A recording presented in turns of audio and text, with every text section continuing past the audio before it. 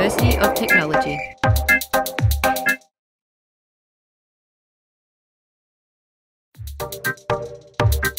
The main reason I'm doing my PhD at Swinburne is because of my supervisor, Tim. The relationship between a supervisor and a student is, is complicated and it changes with time. Predominantly, you're an advisor. I knew I wanted to get into uni and I needed a way in, so I started off at TAFE and I spent a few years there. Then I transferred to my Bachelor of Computer Science Software Engineering and from there went to Masters and then now PhD.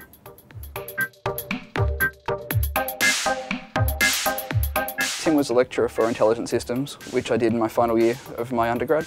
And during that, I found out he was a professor of artificial intelligence. Halfway through intelligent systems, there was a research project, but he kind of disguised it, so it was just kind of a normal project. Like every semester he does it, whoever's got the best assignment, he'll see if there's potential there to do a paper, and he picks them up and gives them a research scholarship for the summer.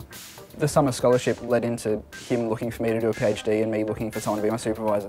So in the end, I wasn't sure who was trying to convince who to come back. The single most important characteristic of a student is motivation, and David certainly wasn't sure of that.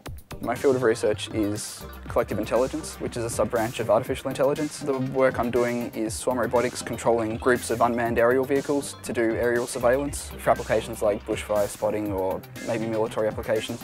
So the idea behind swarm intelligence is there's no centralised control. Most of the algorithms are nature inspired, like ants finding food or birds flocking.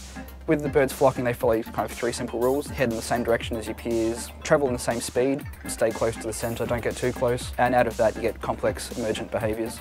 Most of my time spent at my computer running simulations. I set up a batch file and then it'll run like a couple of weeks worth of simulations. It takes a lot of computing power, so it takes a while to run. And then after the end, I spend my time just going through data files and collating it into graphs.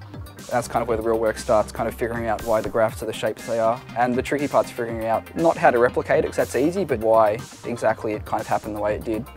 Assuming everything goes to plan and nothing crashes, these uh, batch files can run for up to a couple of weeks just generating data. But if there's anything too sticky and I can't kind of get it, that's when I take it up to Tim. He might pipe up with a few good ideas, then we start talking and then we'll walk away. Then a few hours later something will click and I'll just you know, run back up and go, hey Tim, I figured it out. And he'll be like, yeah.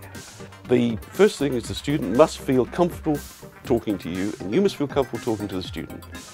And once you've got a good communication, then you slowly start to introduce the student to other people.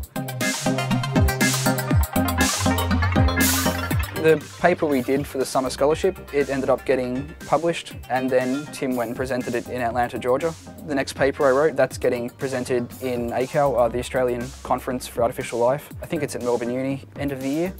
And then we've got another paper coming up, which will probably be presented in maybe Spain or Atlanta again, a different conference. A crucial part of a PhD is to introduce the student into the advisor's network of contacts so that they feel quite comfortable first meeting people locally, then people from overseas, people perhaps whose names they've read on papers or who've written books and feel quite comfortable walking up and talking to them as they would anybody else. Because each research field's sort of really close-knit, so there's only like a handful of people in each field and once you know them, you've got contact points where you can go to for jobs in the future or questions about your research or they might have found out some interesting stuff that they want to share with you. You know, once I'm done here, you know, if I need a job, you know, maybe I'll be ringing them up and seeing what they've got. Swinburne University of Technology.